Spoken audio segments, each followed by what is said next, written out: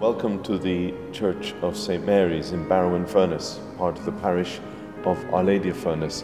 And here we've been making music as part of this wonderful festival that's taking place in Morecambe Bay Health Trust, celebrating the relationship between music and health and well-being. I'm Father Emmanuel Gribben, part of the chaplaincy team at Furness General Hospital, and I was delighted to be uh, invited to take part in this festival of music.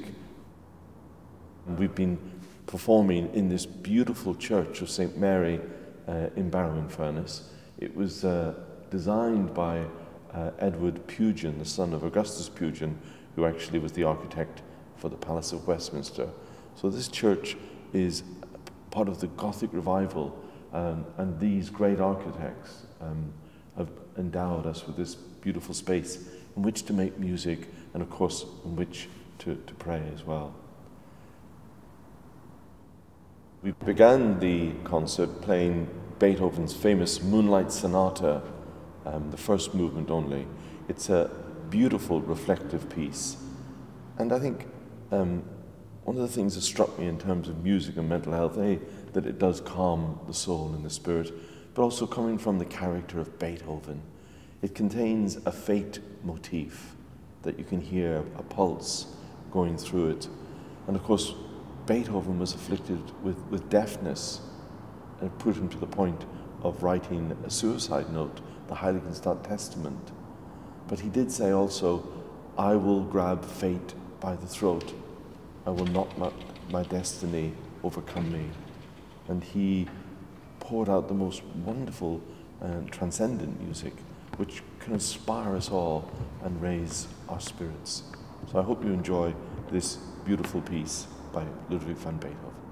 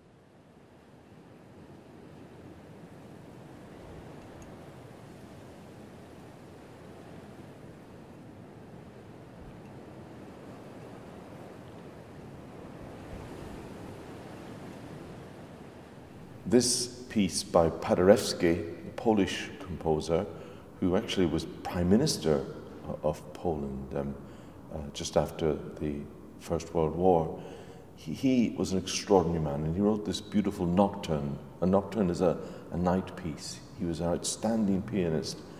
And there's a, a beautiful calm and serenity about it that reflects his temperament. He was renowned for his kindness and his philanthropy and concern for the poor.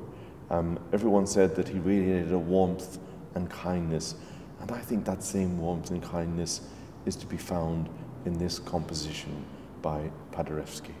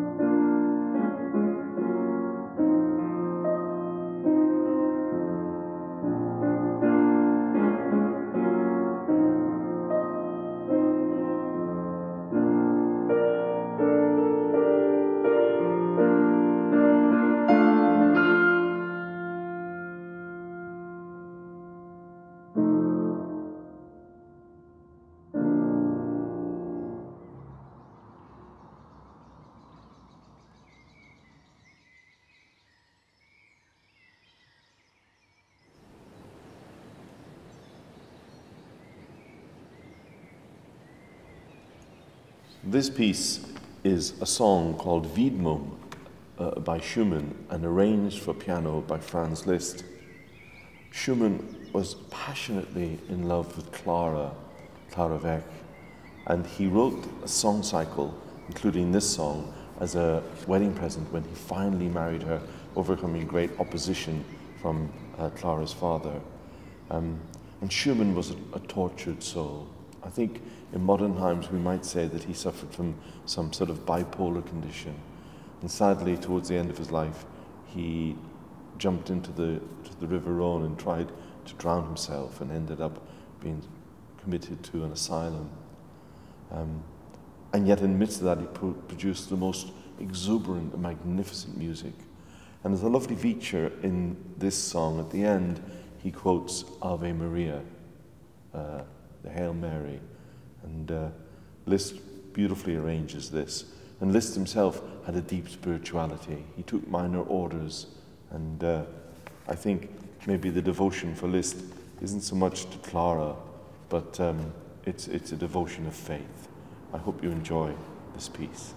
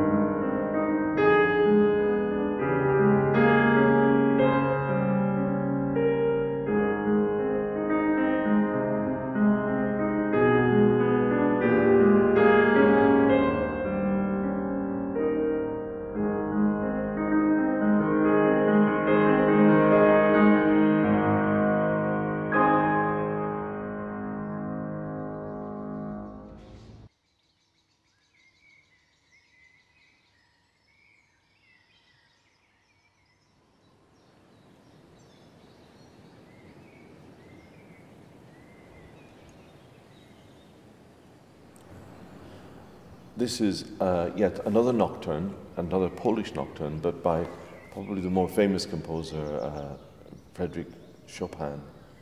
And Chopin was a remarkable character. Um, died very young, at the age of uh, 39, uh, in 1849. Uh, but he, um, Berlioz described him, he said that, uh, that Chopin was dying all his life because he suffered from tuberculosis. Um, and it gradually wasted him away. But he wrote this beautiful nocturne for his sister, and uh, he said that he poured out his soul and told the piano his secrets in the midst of his illness and his worry. And it's particularly poignant because the Russians had invaded his homeland, Poland, and he had gone to Vienna, and it meant he was never to be able to return. And this piece reflects um, sorrow and yet great beauty as well.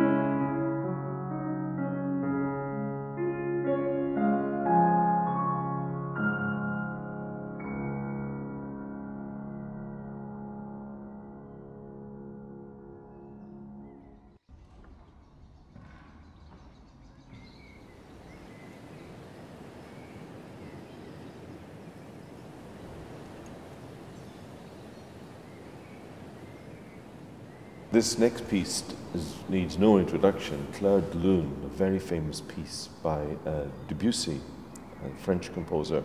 And of course, he was renowned in being described as an impressionist and his music depicting a beautiful scene like a painting of moonlight. But actually, his music was, was more to do with portraying the impact or the effect of the beauty of the painting or the poem, what that does in our hearts. And it reminds us really that, that, that all the arts um, have a wonderful ability to, to bring beauty to our lives and to bring healing as well to our lives through that beauty.